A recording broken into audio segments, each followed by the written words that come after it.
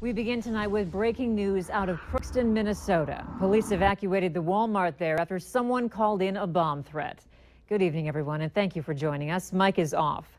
Shoppers were told to leave the store around 8:15 tonight, and the store shut down.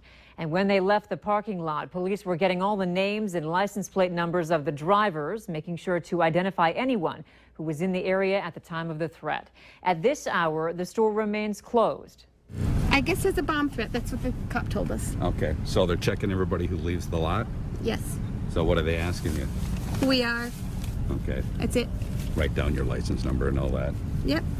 Okay, has it been quite a wait? Yeah.